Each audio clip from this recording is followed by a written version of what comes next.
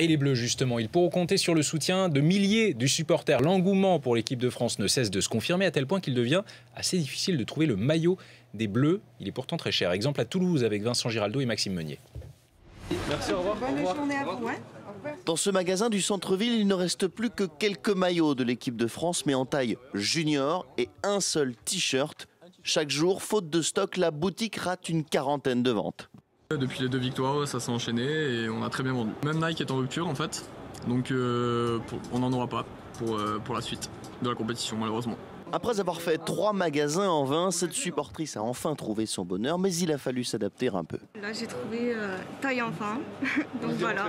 Et j'arrive à rentrer, heureusement. C'est rupture de, de stock. euh, voilà. Allez à France Nike et son concurrent Adidas sont les deux marques qui sponsorisent le plus d'équipes présentes en huitième de finale.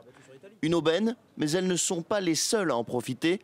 Dans cet hypermarché en périphérie de Toulouse, là encore, les t-shirts ont un gros succès. Il n'en reste plus qu'une petite dizaine. Ils partent à une vitesse telle qu'il en reste très très peu. Ils sont en huitième de finale, donc euh, c'est une grande chance, un grand honneur pour la France. Donc tout le monde se saute sur les maillots de, de foot. Les drapeaux tricolores ont aussi du succès. Ils s'en vendent en moyenne une quinzaine chaque jour et cela devrait aller crescendo d'ici lundi soir.